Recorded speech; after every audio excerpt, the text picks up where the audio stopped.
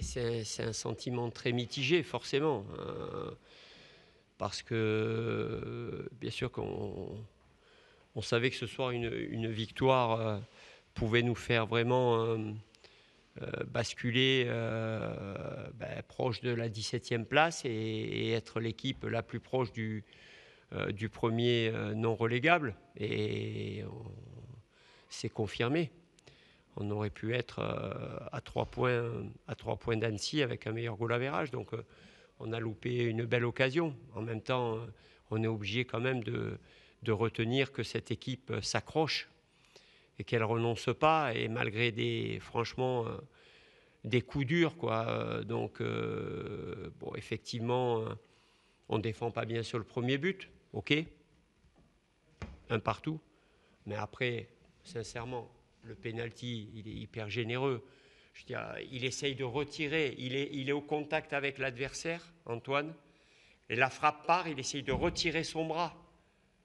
Il ne peut pas se couper le bras. Hein. On dit, avant, on disait, est-ce que c'est la main qui va au ballon ou le ballon qui va à la main? Et c'est même pas la main, c'est le haut du bras. Il essaye de le retirer. Ah, franchement, et nous, contre, contre, contre l'Estac, le mec, il a le bras décollé du corps comme ça, il prend le ballon plein de main, on siffle pas pénalty pour nous. J'en veux pas à M. Legat, je pense qu'il n'a pas bien, bien euh, maîtrisé la situation, mais, mais c'est lourd de conséquences dans notre situation. À un partout, on est complètement dans le match. on ne voit pas des pénalties comme ça chez, chez, les autres. Comment c'est possible de venir là, à Diochon, et siffler un pénalty comme ça sans aucune hésitation? Moi, je suis désolé. Donc, euh, il y a ça. Et puis après, sur le troisième but, franchement, frappe déviée qui, ne va peut-être même pas dans le cadre et qui lobe notre gardien. tu te dis, tu as la poisse, quoi. Tu as la poisse. Entre le fait de jeu, la décision d'arbitrage et cette frappe déviée qui est. Où le mec est complètement excentré au départ et tout, la déviation, elle te lobe ton gardien. C'est juste inimaginable. Et malgré ça, à la mi-temps, les mecs ont réussi à se mobiliser, ça lâche rien, et tu gagnes la deuxième mi-temps 2-0. Donc, euh, ouais, tu as des regrets, parce que jusqu'à leur but égalisateur, pendant 30 minutes, on, on, contrôle le match contre un adversaire qui est venu au départ dans un 5-4-1, assez compact, assez bas. Tu te dis, bon, euh, ils viennent pour être solides, costauds, et tu as la chance de bien démarrer, d'ouvrir le score sur coup de pied arrêté, et, tu as le contrôle. Je veux dire, jusqu'à cette situation-là, ils n'ont pas d'occasion, quoi. Et là, ping, situation, hop, euh, voilà, ce centre deuxième poteau, on ne défend pas bien sur cette situation-là. Et bing, tu pécaches. Première erreur du match, tu pécaches. Deuxième, un tir à 30 mètres, ton défenseur il remonte, il va enlever le bras, penalty. Troisième, frappe euh, contrée, elle te lobe le gars. Tu te dis, c'est pas possible. Donc là, tu te dis, les planètes ne sont pas alignées, c'est dur. Et malgré ça, je trouve que par rapport à tout ça, être capable de ne pas renoncer, de repartir, de faire une telle deuxième mi-temps, de gagner la deuxième mi-temps 2-0, en ayant un gardien, Gürtner, qui fait, qui fait 3-4 interventions en plus décisives, bon, ben, tu te dis, on est obligé de garder l'espoir avec ça. Parce que parce que parce que ne renonce pas, parce que l'équipe ne lâche pas et qu'elle monte de la qualité. Le, hic, c'est qu'on prend trop de buts après. Après, quelque soit, peu importe la manière, le constat, c'est que eh, tu marques encore trois buts et tu gagnes pas. Tu marques trois buts à Rodez, tu gagnes pas. Tu, tu, avais mis trois buts contre Auxerre et ils égalisent, il, faut aller chercher un quatrième but dans le temps additionnel. Compliqué. Paradoxal, c'est beaucoup de buts, pas à garder le clean sheet, alors qu'à côté de ça, vous avez fait plusieurs clean sheets récemment Ouais, mais bon, je pense que euh, sans manquer de respect à, Concarneau, je pense qu'Amiens a, quand même un peu plus d'arguments.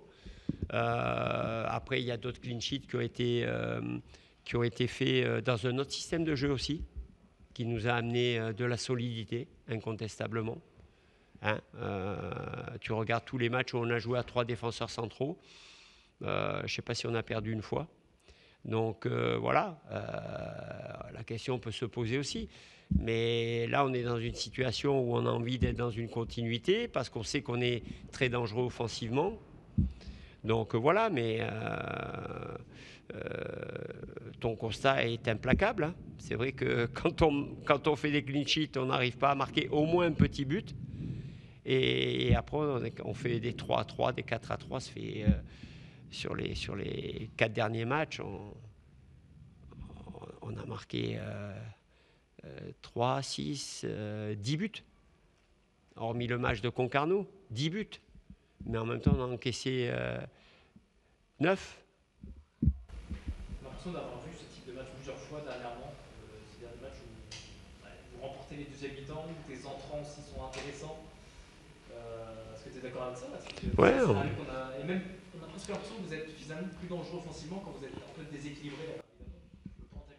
mais je connais ton raisonnement, euh, Victorien. J'ai lu déjà, je vois tes questions dernière fois. Mais le déséquilibre, il faut être maîtrisé, sinon tu ne peux pas exister tu te déséquilibres tellement que tu prends trois buts à chaque match. Tu ne peux pas marquer quatre buts à chaque match quand tu es QRM. Donc, euh, euh, il faut, il faut, euh, il faut un certain cadre dans le désordre. Et, là, nous, on n'arrive pas. On n'arrive pas à, à, gérer ça.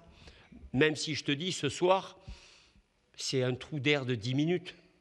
Ce soir. Je te dis, le premier but, effectivement, on ne défend pas bien, alors que jusque-là, on a vraiment le contrôle. Et après, ces, deux buts sur des faits de jeu, sur la frappe qui amène le penalty, on n'est pas déséquilibré. Et sur le troisième but non plus, j'ai pas vraiment l'impression que ce soit une occasion super franche, cette frappe euh, contrée. Donc, euh, bon.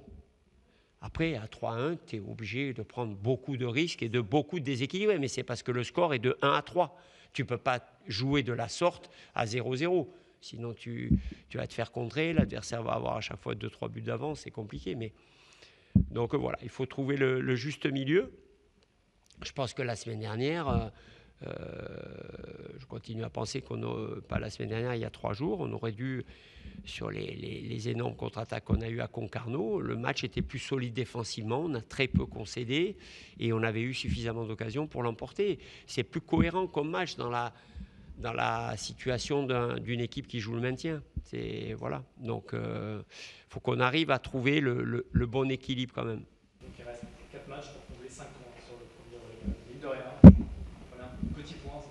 ben, on gratte un point sur eux ce soir. Voilà, donc euh, euh, on n'a pas, de toute façon, on n'a pas d'autre choix que de se contenter de ça.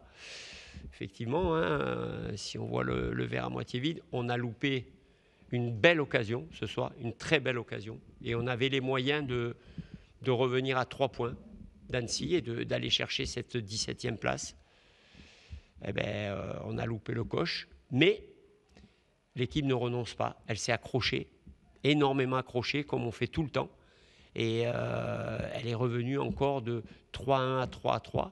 Ça avait été le cas à Rodez, c'est encore le cas ce soir. C'est que cette équipe a, des ressources mentales et que les joueurs, malgré la difficulté, ne cessent de se relever à chaque fois. Donc, euh, est-ce que ça suffira pour aller au bout? Mais dans tous les cas, euh, c'est avec cet état d'esprit qu'on a une chance d'y parvenir.